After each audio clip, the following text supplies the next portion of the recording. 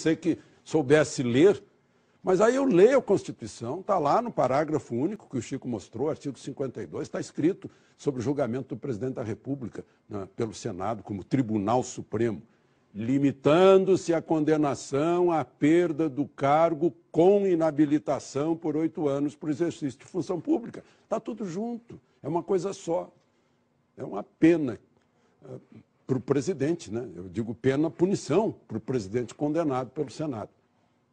Olha, eu tirava 100 na interpretação de texto no grupo escolar, mas eu acho que eu regredi, né? porque o presidente do Tribunal Constitucional, defensor da Constituição, ministro Lewandowski, aceita que o regimento do Senado seja mais forte que a Constituição e decide que são duas situações que podem ser julgadas em separado. Eu pensei na minha ignorância, né, que a primeira parte, perda do cargo, até pudesse ser dispensada, porque basta a segunda, que inabilita por oito anos, o que já faz perder o cargo. Né?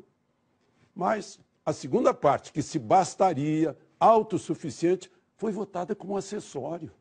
Eu estou mesmo desaprendendo a leitura. Aí, quando Renan Calheiros encaminhou a votação brandindo a Constituição, a gente viu há pouco, né?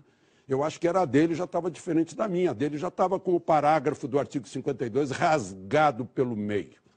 Então, dez senadores do PMDB inverteram seus votos.